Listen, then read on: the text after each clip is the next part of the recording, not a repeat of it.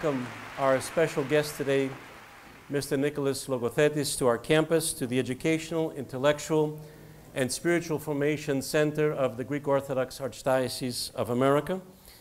It is home, as we know, this place where we teach our students to be courageous, to have confidence in their message, and to also then have the capability to become the leaders of tomorrow. It is in that spirit that we have invited Mr. Nicola Logothetis to be with us today to speak about his personal experiences and to let you know a little bit about what he's doing.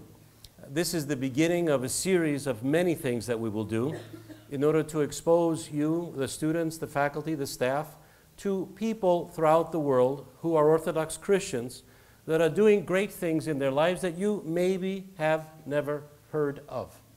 And I think you will see, once you speak and listen to him, that he is a person who is not going around bragging about what he does. He does what he does because he believes in it, as does the entire Logothetis family. I want to do a brief introduction for him. Then we're going to sit down. We're going to have sort of an interview between the two of us. And then we'll give you the opportunity at the end to ask any questions you might have. Nicholas Logothetis is the executive board member of, at the Libra Group and the co-founder and chairman of the board of Concordia. Nicholas is an entrepreneur who has a lifelong passion for politics and international affairs. He founded Concordia along with his business partner Matthew Swift on the notion that facilitating cross sector collaboration can more adequately address global challenges to create a more prosperous and sustainable future. This notion, along with his commitment to solving pressing international challenges through the lens of partnerships, developed Concordia into the preeminent global hub for partnerships in record time. The Libra Group is a privately owned international business group that controls 30 subsidiaries active in 35 countries across six continents. It is focused on six core sectors aviation, energy, finance, diversified hospitality, real estate, and shipping. The group is wholly owned by the Logothetis family. As chairman and board of Concordia, Mr. Logothetis leaves a distinguished board comprised of top leaders from academia and the private sector. His leadership in driving forward Concordia's mission to enable public private partnerships has established Concordia as a reputable firm throughout the world. Since Concordia's founding in 2011, he has overseen the organization of five global summits and a myriad of practitioner level convening prominent speakers from public, private, and non-profit sectors. Mr. Logothetis is a member of the Royal Institute of International Affairs in London, the National Press Club in Washington, and the Overseas Press Club. Prior to establishing Concordia and joining the Libra Group, he spent several years gaining invaluable experience in the media industry at Fox News, British Sky Broadcasting, Bryan Cave LLP, Husch Blackwell Sanders, and the News Corporation. By the way, he is 29 years old having accomplished all of that. Please help me in welcoming Mr. Logothetis to the stage.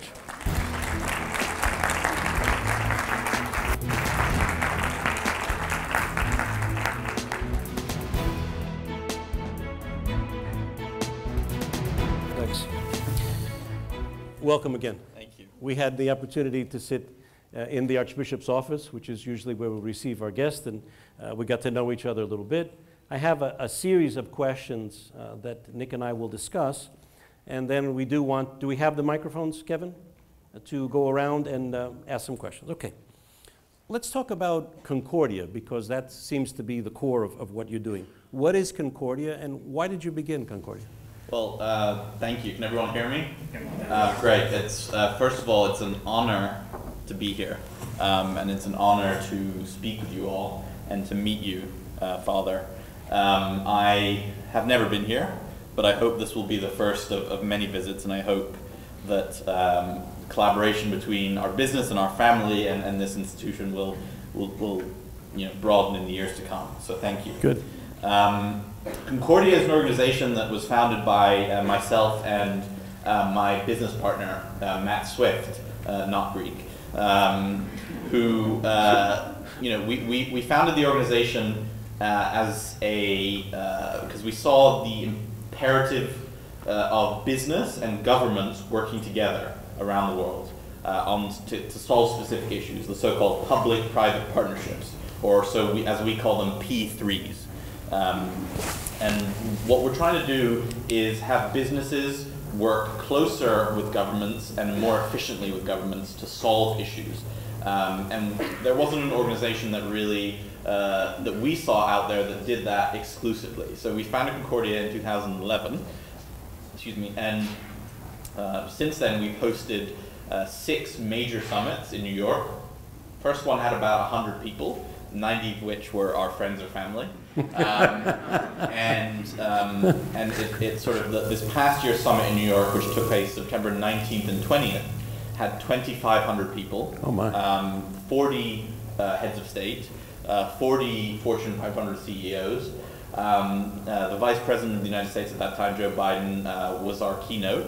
Uh, and so it's really grown from a small organization into a, a you know, a, a, as we like to say, it's grown from an infant to a toddler, and now it's walking and um, you know, and, and, and crying and, and all those different things that come with a, a, a growing organization.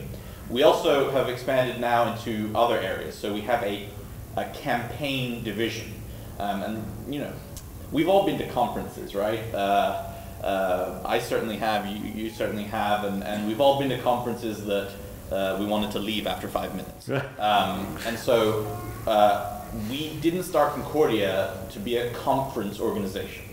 Uh, you know, summits are a means to an end for us, um, and that end is having social impact on specific areas. And that we use the summits as a tool to build uh, what we call this campaign model. And what that is is actually working with public entities and private entities to build public-private partnerships. And it's just started about six months ago, but we're working now on two issues. Uh, the, the sort of sustainable food uh, and safe food uh, supply and uh, anti-labor trafficking. So for the labor trafficking one, what we do is we've worked with New York University and um, with Cargill, um, and uh, we have sort of um, you know, working with them to actually build a public-private partnership. That wouldn't have happened without the summit. That wouldn't have happened if all the presidents and former presidents and everything else hadn't come together. Um, so that's what we're doing now. We also do other events throughout the world. I was uh, just yesterday in Colombia, um, and we had a uh, summit there, which was pretty historic for Colombia. I don't know how many of you follow Colombian politics. I certainly didn't before. Maybe Fabio will. Yeah, but Not um, really?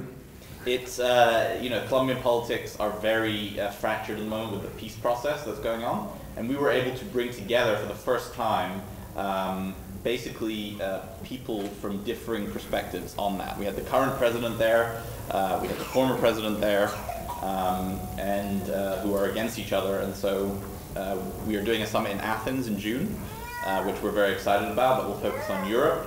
Uh, it will focus on the migration crisis and it will focus on uh, the sustainable development goals. So that's what Concordia does. Okay. Uh, If we look at Concordia and we look at the world itself, let me ask you, what would happen if Concordia wasn't there? What, what are you doing specifically that, that is helping?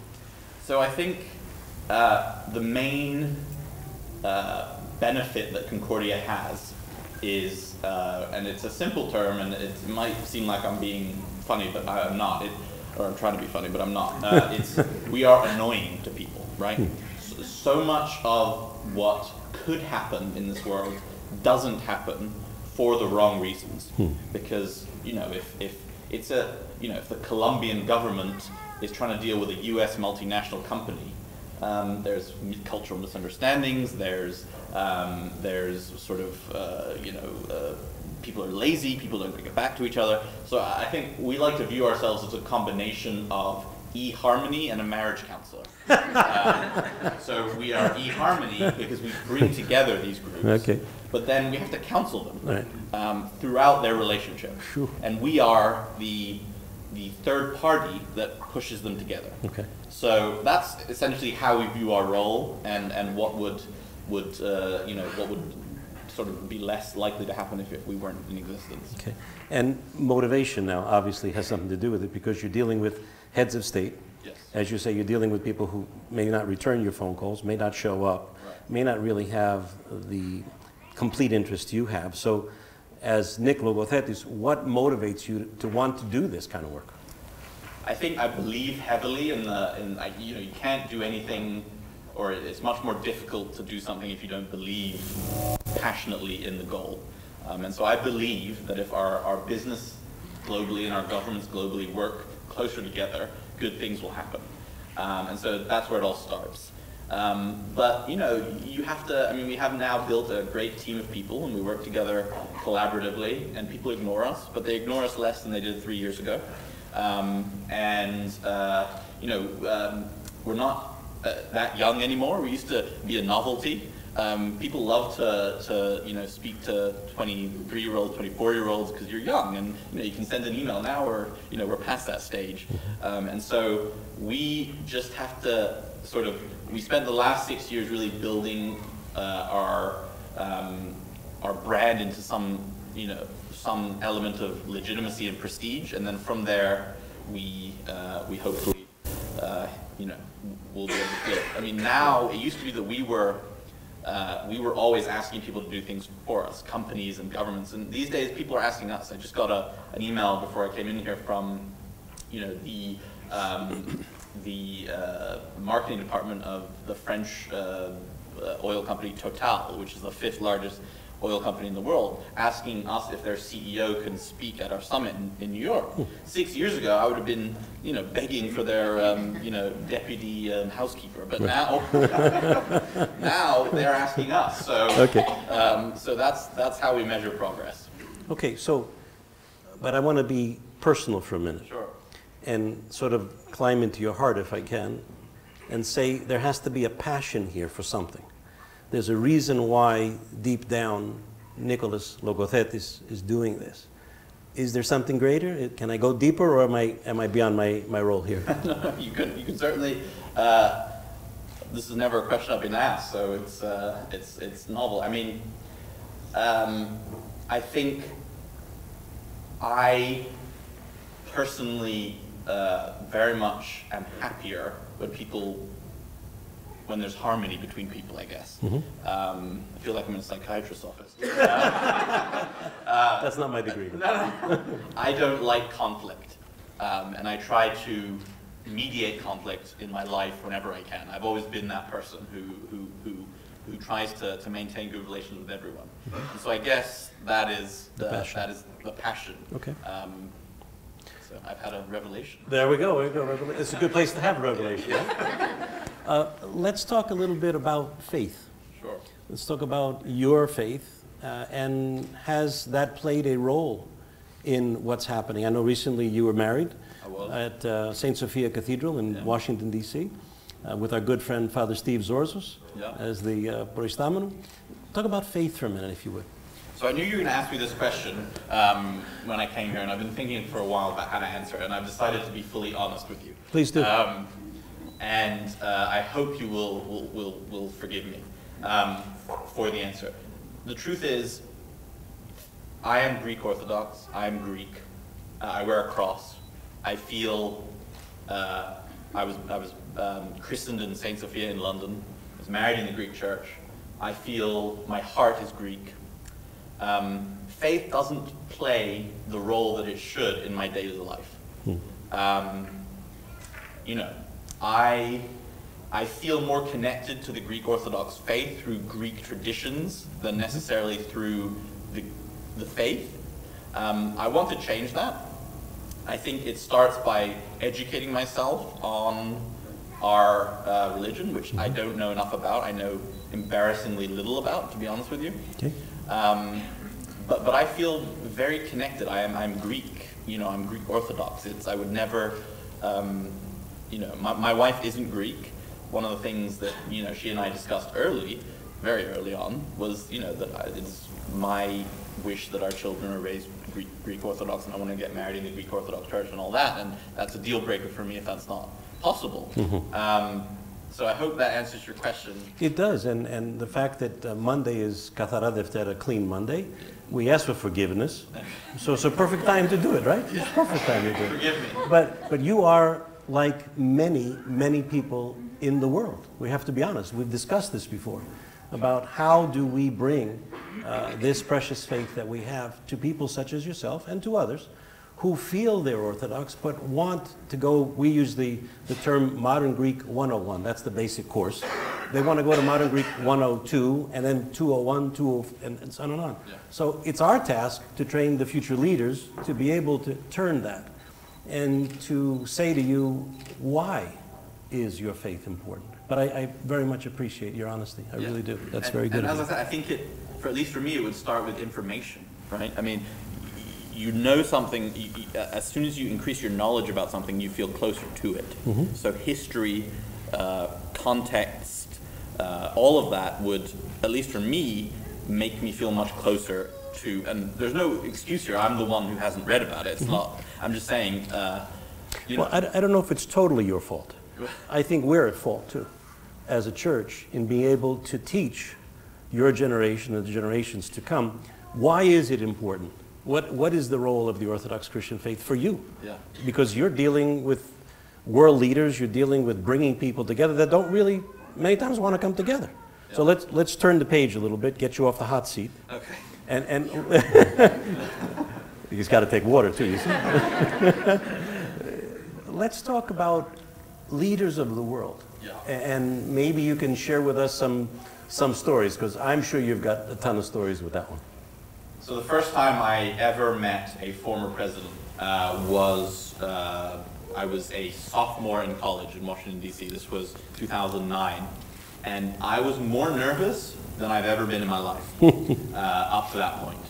And it, this was the former president of uh, Poland, uh, Alexander Kwasniewski, who uh, has played a, a very uh, significant role in Concordia going forward. But I remember, so it was lunch, me, Matt Swift, uh, co-founder of Concordia, and him in a restaurant in DC that we had actually, this is a, uh, an amusing story, we had actually, Matt was at Georgetown at the time, and he had bought lunch with him at an auction at Georgetown for like $85 or something. Um, so that's how really Concordia got its start, was those two auctions for Kwasniewski and then for President Aznar, who's the former president of Spain. Um, but I remember thinking, what the presidents order for food? I mean, do they eat the same food we eat? Do they uh, eat, uh, you know? And he was like, yes, I'll eat what you eat. I, you know, order some calamari. so, you know, uh, after that initial severe nervousness, where literally my legs were shaking, um, you, you, you get to realize that um, that these people, these former presidents and, and current presidents as well, uh, are just people. And what they yearn for, I think, is to be treated with a you know, significant amount of respect, Mr. President, Madam President, always, but just treating them like normal people. Hmm. They often are treated either disrespectfully or like sycophantic, you know, just basically you can, you know, say something like, I don't know, Nazi Germany was good, and they would be like, yes. You know, the people, so whatever you say, they would say yes. Yes. Um, and so, uh, once we realized that, we were we managed to build relationships with a lot of these former leaders. You know, you could joke with them, you can you know talk to them about their families, talk to them about, um, and they all vary in differing. You know, some of them are more down to earth, some of them are less down to earth, um, but they all are human beings. And so, uh, we have been able to. At this point, I think there's 12 former heads of state on Concordia's board. Um, and uh, you know they're all different. They're all have unique um, sort of uh, uh, items about themselves, but uh, they are extremely. Uh, I mean, th- think of you know. uh, We we call it the, the former head of state syndrome. Think of think of uh, someone. We don't. We can't experience this, but if you, you just have to think about it academically, you've been president of a country, right? Any country take Mexico, Latvia, Greece, whatever. You have a staff of thousands. You have a, uh, your schedule is programmed to the minute, literally. You don't have to think. You literally don't have to think. Like if I was president, I'd walk out, there'd be a motorcade waiting, I'd get in, someone would be like, okay, we're on the way to, you know, meet the mayor of Boston, um, you have a phone call with the president or the prime minister of Japan, here's what you need to say, blah, blah, blah. I'm not thinking about how I get to the airport, how I, it's just a different mentality than any of us. And then that finishes. right? That ends. And so you suddenly are waking up, and there's no more thousands of staff. There's no more uh, scheduling by the minute. Most countries don't treat their presidents like the, you know, their former presidents like the United States does, in the sense that all their staff goes, all their, um, all their, you know, accoutrements go, and so they're, they're essentially revert to infanthood. I I know it sounds strange, but it's true. They're unable to, to To function. to function, really. Like, I, I know, again, it, but they want to order food, they don't know how. I, I, I'm not exaggerating, especially those who have been in big countries and those who have been present for a long time. It's quite something to see. That's interesting. A- That's And interesting. so we try and work with them at that level, and they have varying uh, sort of time frames of how long they can stand something before they get annoyed. Hmm. Um, from like three seconds to like three minutes. That's A- it? a- a- That's it. If, if their car is not ready, like one person in particular that I'm thinking of, he's got a three second attention span. If his car is not ready, you're in trouble. Um, We know some people like that. so, um, but I think Matt and I were able to to uh, communicate with them in a in a sort of very respectful, but very uh, down to earth manner that they appreciated. Okay, Sorry very for the good. long answer. No, no, that's fine, it's very good. Uh, Let's uh, flip another page and let's go to the Libra Group. Yeah. Tell us about Libra, uh, what it is you do, and then possibly touch on the internships, because I know the students would be very interested to learn about those. Absolutely. So Libra is um, our family business, and since that inv- uh, introduction was written, we've actually added a seventh um, vertical. Uh, So uh, our family is Greek. This is sorry my speech that I give when I'm talking about Libra. You all know that. Um, and uh, started in the shipping business. My father uh, is um from Greece. My mother is from Greece, and uh, we started in the shipping business in the 1970s and grew from a small shipping business to a large shipping business. Um, and then we diversified outside of shipping in 2003 and sold all of our ships and used those proceeds to build what is today become Libra. Um, and Libra is seven um, sort of key areas. There's shipping. We're now uh, back into shipping in a big way. We have 110 ships, uh, mostly in the container business. Um, we have an aviation business where we lease aircraft, uh, helicopters, both passenger and commercial aircraft, um, to airlines around the world.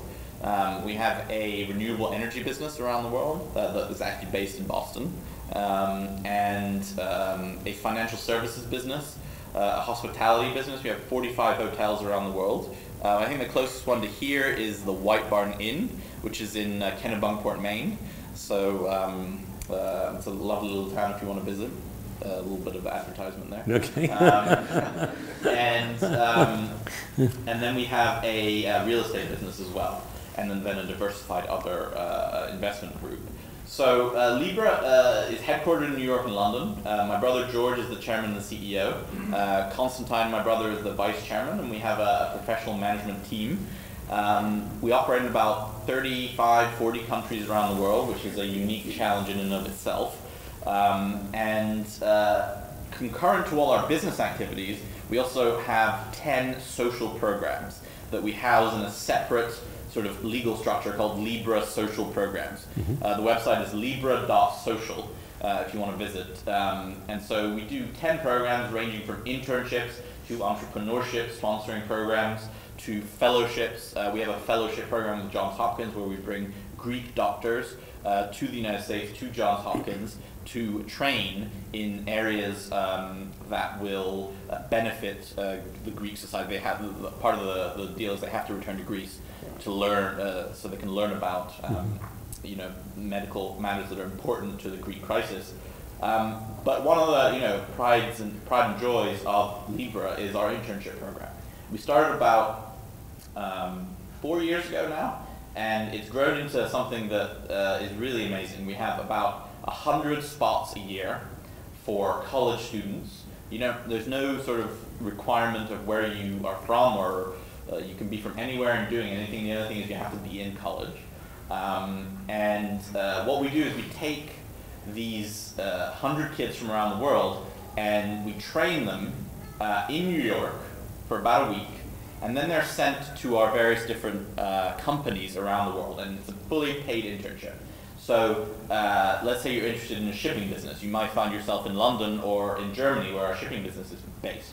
If you're interested in energy, uh, Greece or, um, or Latvia, where we have a lot of energy, um, or in different places. And so it's a fantastic opportunity, and obviously all travel and, and costs and everything are paid for, um, lodging costs. Uh, and this year I think we had about a thousand uh, applications for, um, for those uh, uh, 100 spots from something like 45 different countries, which is incredible. Um, and uh, I would urge you all to apply if you uh, if you're interested.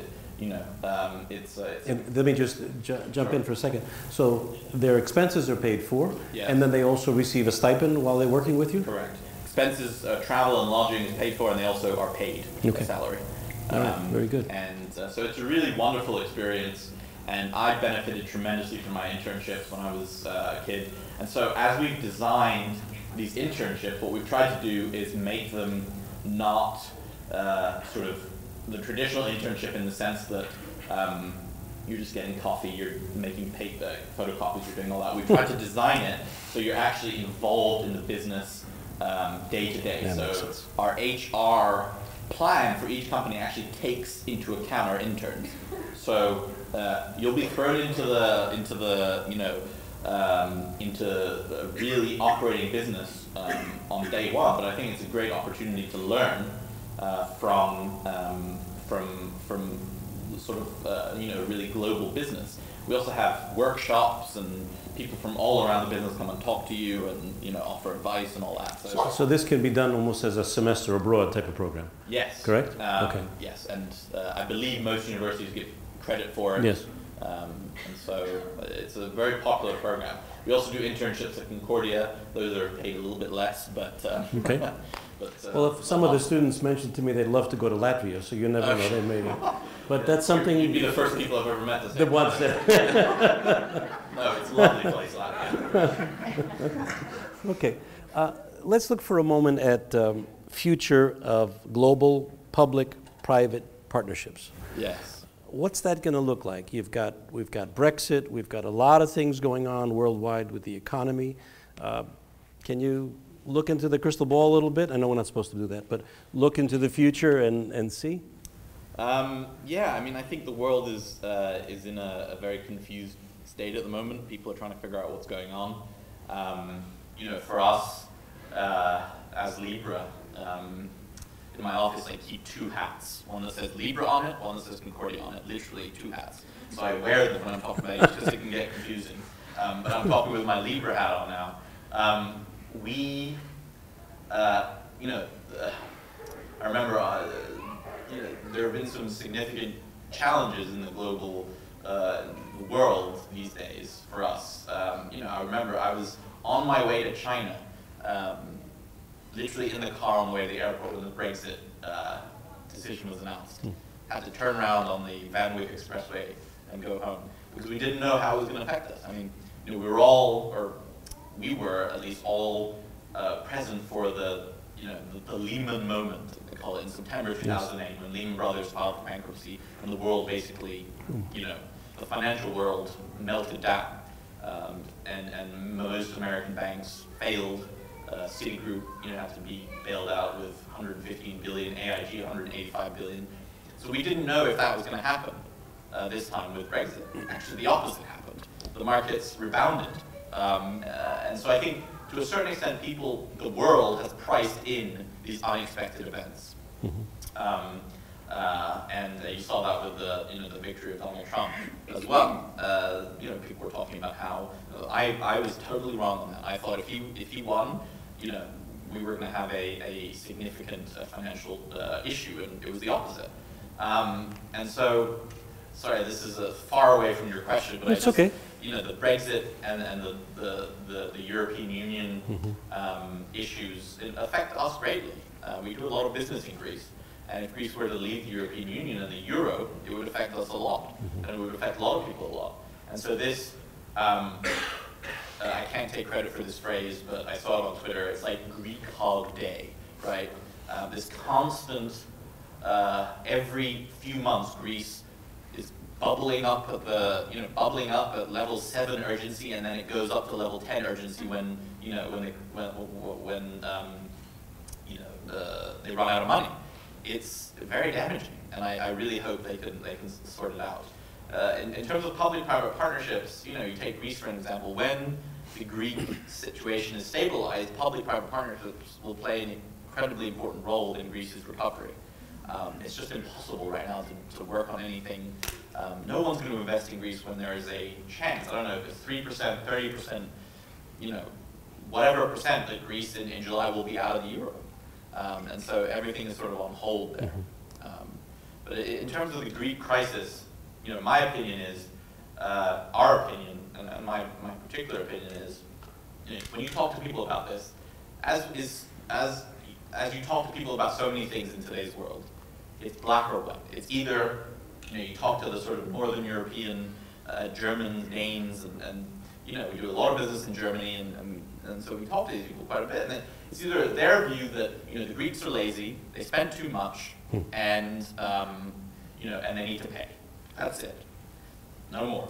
Or you speak to the, you know, some, some people the, on the Greek side, and they say, we're, you know, we, it's the Germans' fault, they, the Europeans are doing this to us, you know, we have no role in this, uh, help us. Uh, the answer is somewhere in the middle. In the middle. Um, but, but, big but, I think.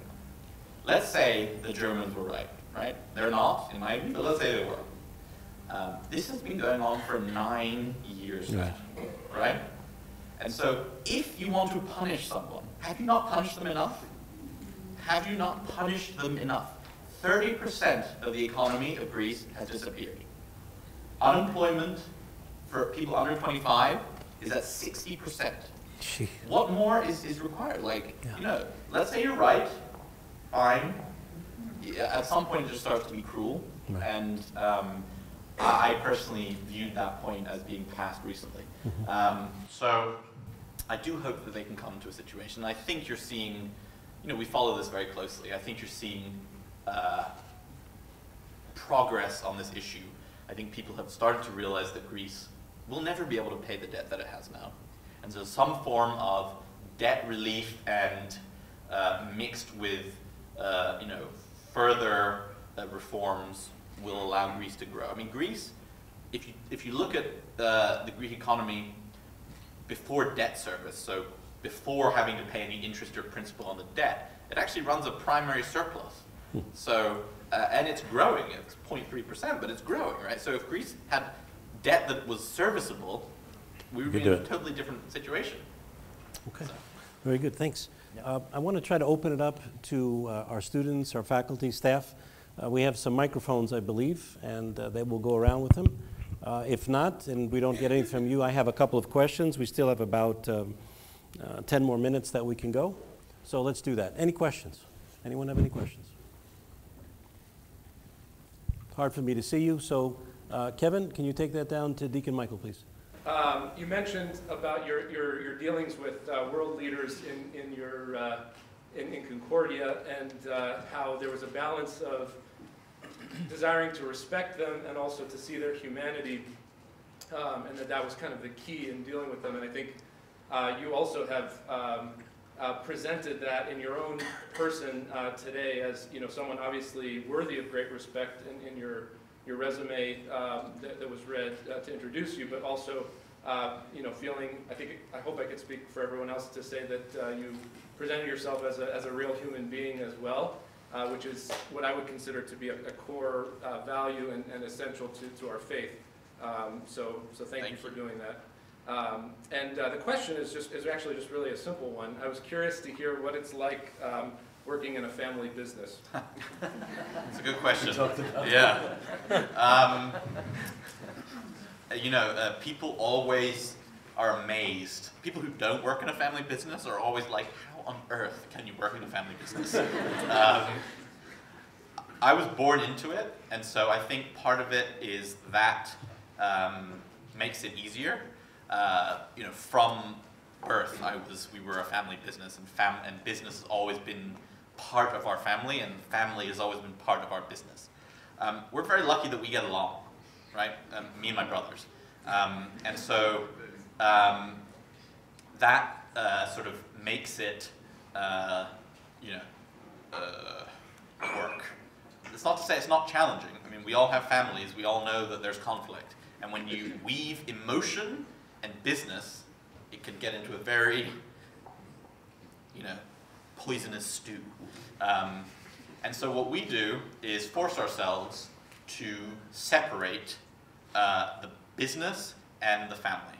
And so um, it, it's challenging, and uh, but I think at, at, the core of it, uh, our parents really instilled in us a, a sense of um, all for one and one for all. I'm four brothers, um, and so that that really, you know, keeps it.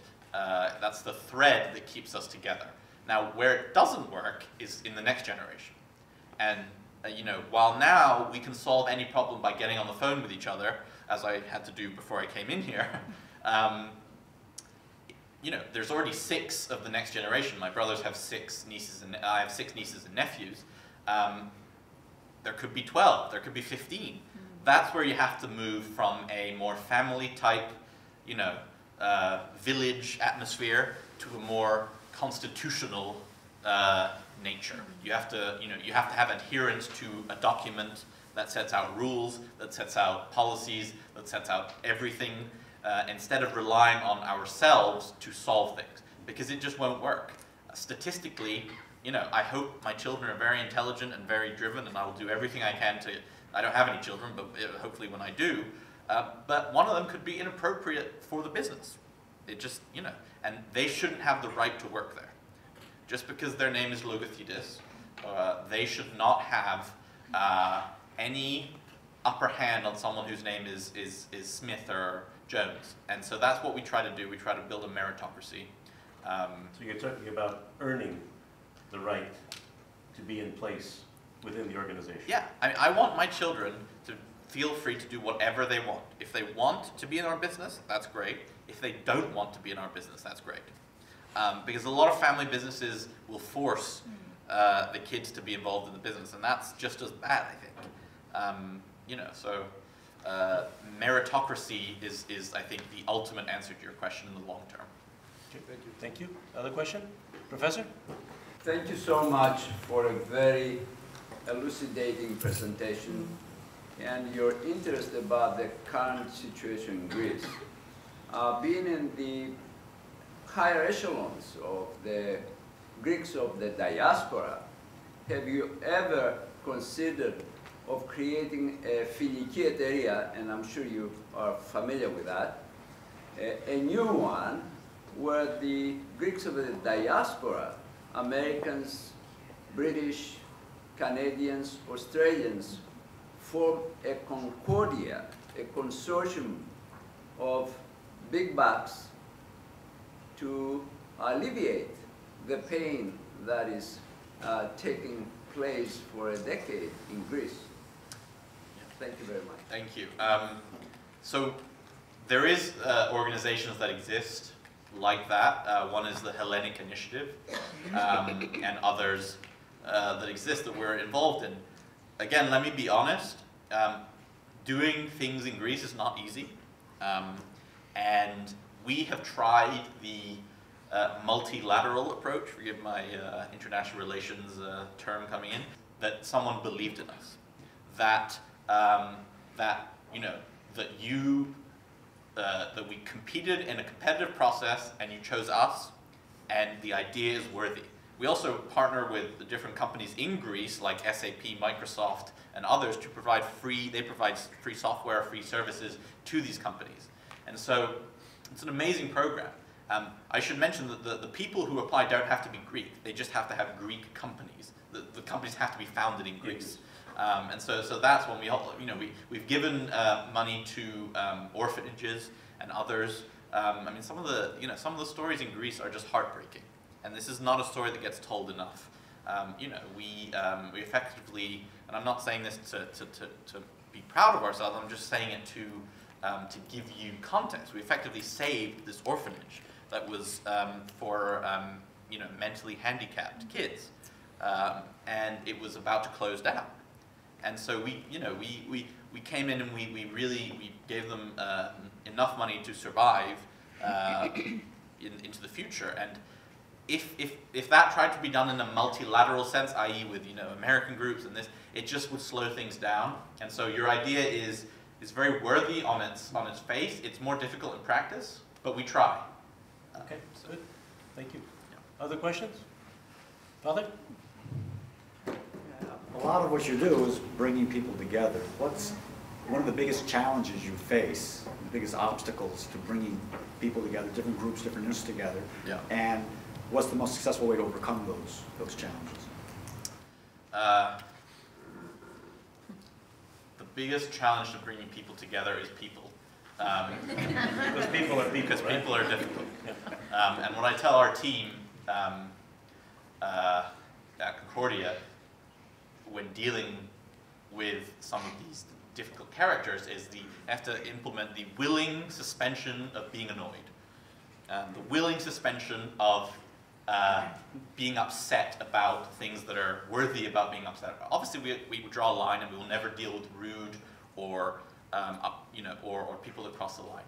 But just to give you an example, two days ago, we had the current president of Colombia at, uh, at, at our summit. I mean, literally, I've never seen such a thing. You know, we had to rent an ambulance for his security team. We had to rent firefighters um, for uh, his security team. I was like, well, what if we, you know, light on fire? You're you going to save us? I'm like, no, it's only for the security. Um, we had, uh, they must have changed their mind literally 15 times about whether he wanted to speak from the podium or from a chair. And uh, in any normal sort of course of business, you go nuts. It's like if I kept emailing you, it was like, no, I want to speak here, I want to speak there, you know, I want us to, to wear, a, you know, a t-shirt, and, and then I don't want to wear it, literally over and over and over again. And so you have to find people who are who, who, who have a lot of tolerance for that stuff, but can draw the line uh, at a certain place in a certain time, um, and and that's that's the biggest challenge by far. And you know, um, my my co-founder Matt has a very uh, uh, great saying that, that when it comes to um, when it comes to putting on our annual summit, where you have 40 heads of state and 40 CEOs, it's like planning a wedding where 100 people think they're the bride. Seriously, everyone thinks they're the most important people in the room. Um, and some of them are, and most of them aren't. Um, but how do you deal with that? You, you, you, you, you, you do as much as you can to make people happy. You never cross a line. You never, you know, we will be respected at all times. If anyone is ever rude to our staff, that is unacceptable and they will never come back. Um, they're not rude, they're just frazzled and harried and, you know, uh, sort of indecisive. But the key is because of their ego or their issues, that does not preclude you from continuing to push through and to persevere for what is right and what is good. Correct. Okay, that's the key. Yes. Yes. Say your name when you stand up because I can barely see you here because of the lights. My name is Diana. I'm a sophomore here at Hellenic College, and I'm in the Management and Leadership program. Um, I guess my question is, for students like us, what's your biggest piece of advice that um, you would um, tell students like us that hope to be where you are today? And I guess in other words, what's something that you wish you knew when you were at our stage? Sure. Good questions. For the first part, I would say LYY, leverage your youth. Um, and what I mean by that is, as I said before, and forgive me, I don't mean to insult anyone, it's just as, as old people love young people.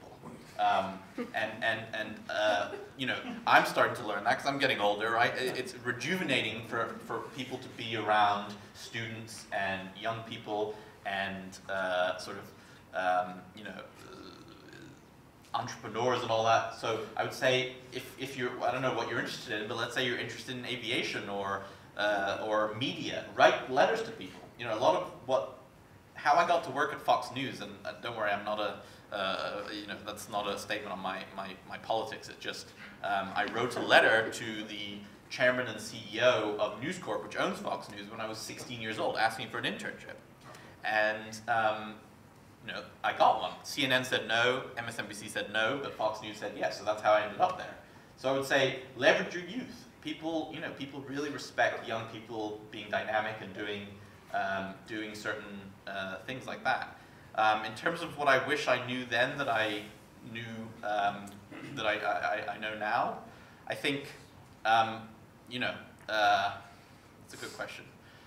What, what, what is difficult, what, what, you know, sort of cherish your time in school for learning and for, uh, for, for being with friends and for being, you know, with professors and all of that. And I, I guess I was a, always a little bit too uh, keen to, to move forward and, and, get on with life. But this is such a, a, a great time in your life um, that, that once you leave, the responsibilities pile up and, and, you know, and everything piles up and you'll never look back. And before you know it, you're 30 years old, um, or 40 years old, or 50 years old. And so I would say, really cherish this time. Um, That's great. Yeah, thank you. Those good answers. Other questions? Anyone else? Yes, in the back. Tell me the name, please, so I can see. I'm Jordan Parra. I'm Hey, a- Jordan, come on. I'm a graduate student here at, uh, at Holy Cross. Uh, my question, that, well, first of all, I'd like to thank you for taking the time to come speak with us. Um, my question for you is what is the role uh, of the church or religious institutions in general in your vision for uh, increased collaboration between the private and public sector? Yeah, um, that's a good question. You know, up until now, uh, it hasn't played any role, um, but that's not to say it shouldn't. It, it, really should.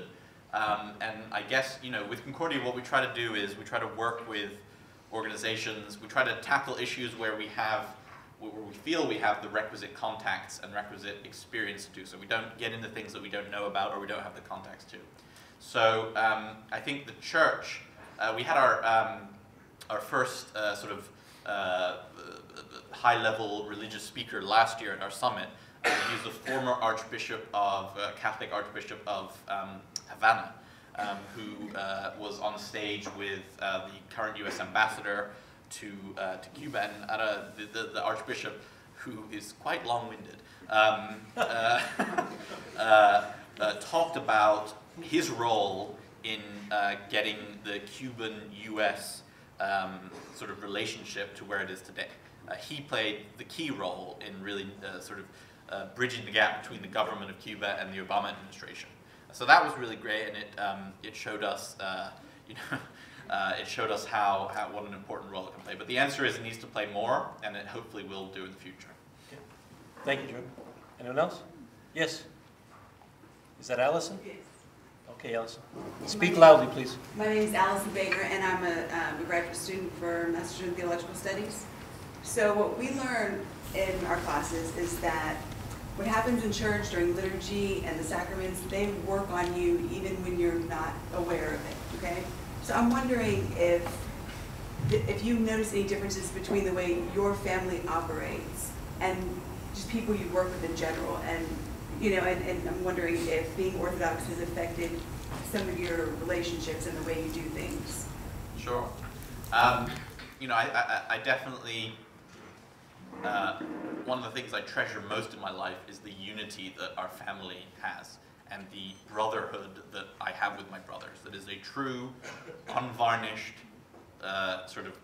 I trust them more than anyone in, in, the, in the world, and they are, in the truest sense, my brothers.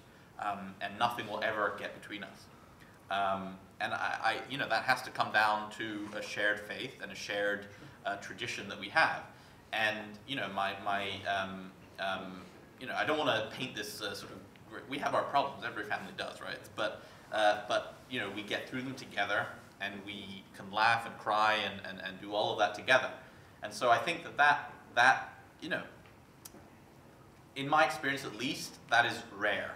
Um, at least in the, the non-orthodox, I, I guess, um, or you know, you know, more rare. And so uh, it it certainly plays that role, which I'm very, very grateful for, and, and is one of the most cherished, if not the most cherished thing in, in my life.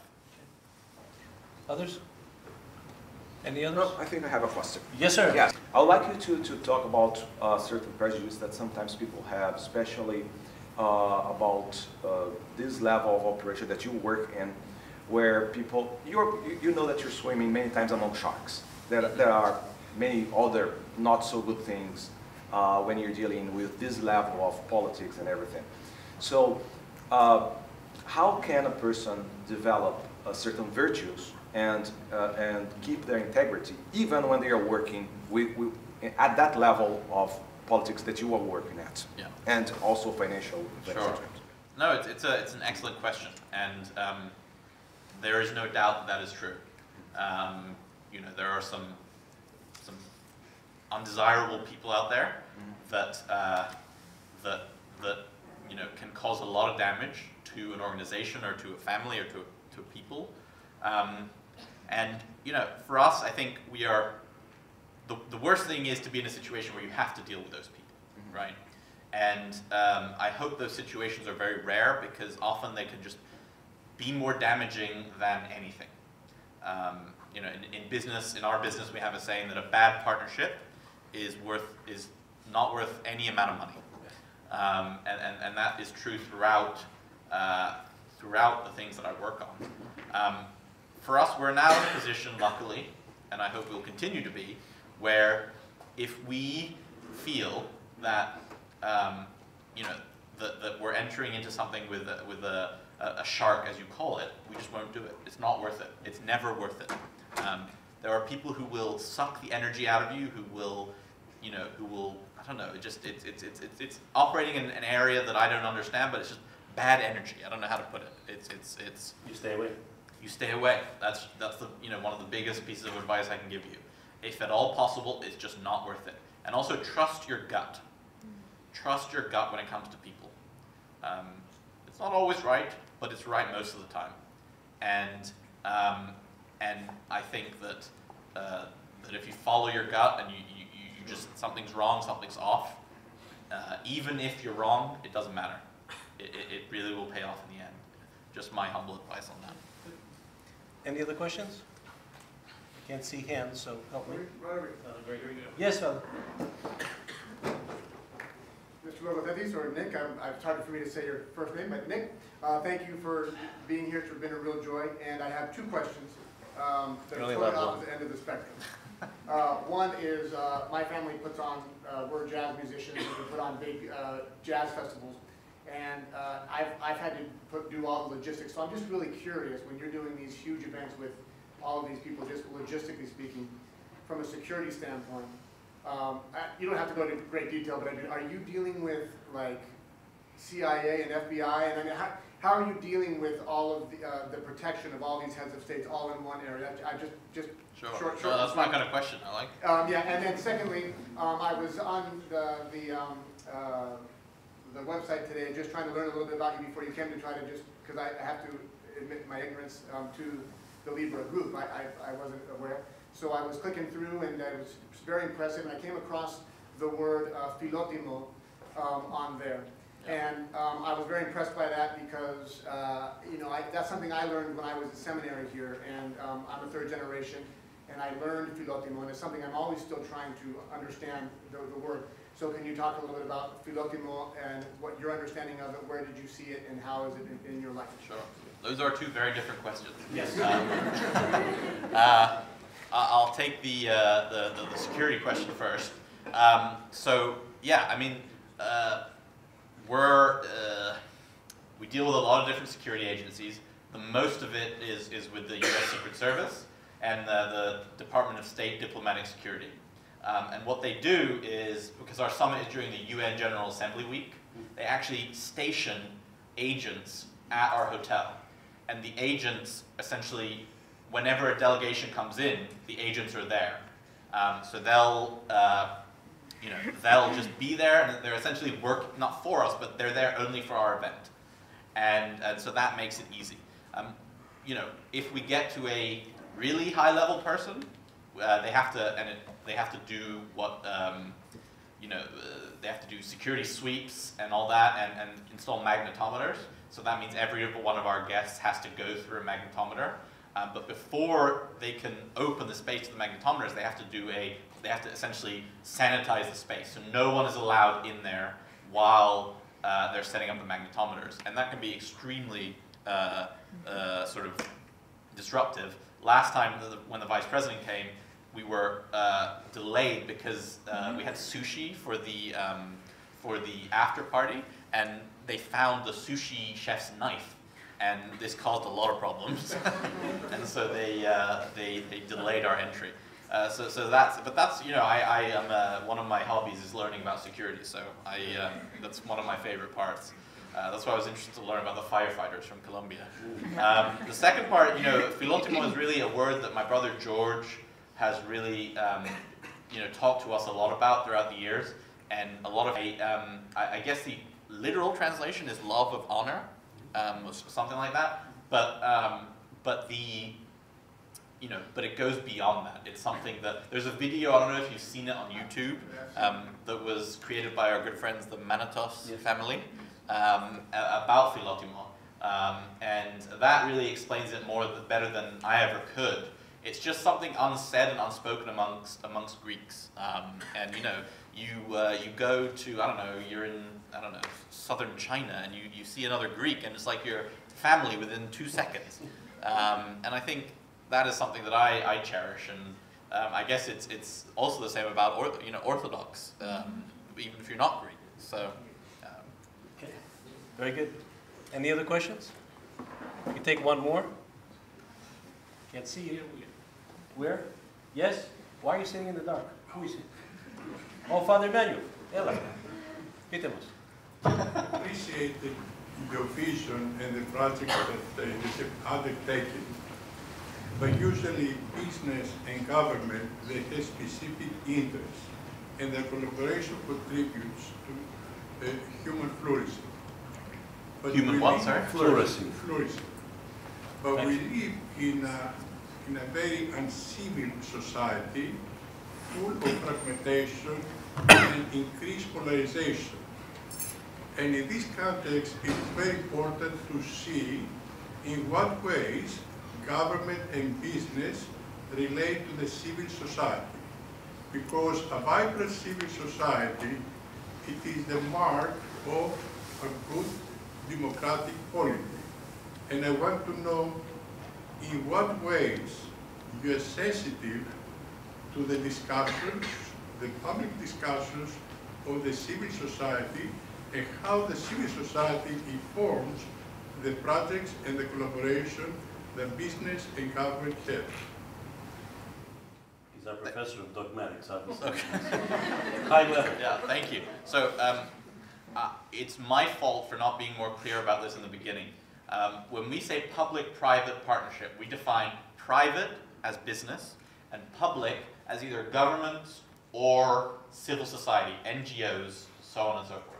So, so we view uh, civil society as a critical part of these discussions. Uh, we just had the, um, the chairman and CEO of AmeriCares, which is a massive um, uh, uh, uh, uh, sort of uh, NGO join our board, the CEO of Save the Children, and others. So they take a, a, a critical part in what we're doing. And so I'm sorry about that I didn't mention that before.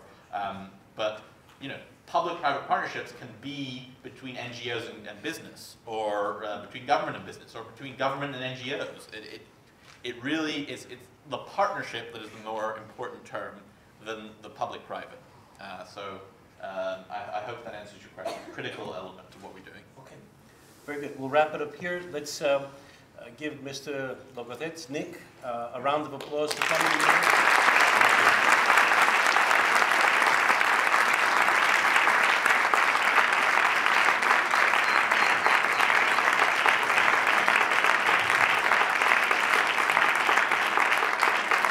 Obviously well received. Thank you very much. And we will do this again with other individuals who will visit our campus. We're hoping that George Logothetis, Nick's brother, will come at some point in the future as well. And there are many, many people throughout the world that can come and share their experiences as Orthodox Christians, living within the world, being of the world, not of the world. You know, this back and forth that we constantly have to do. Uh, these are the future leaders of the church. Uh, I can go even further and say these are the future leaders of the world. Yeah, for sure. These young men and women are going to do great things. And we thank you for coming. Thank you for sharing. We pray for you. We pray for your entire family, that you remain whole, that you remain together, uh, that you remain successful, and that Christ will always bless you in all your travels. He loves to travel, by the way. Loves to travel. So keep him in your prayers. Thank you very Thank you. much. Thank you.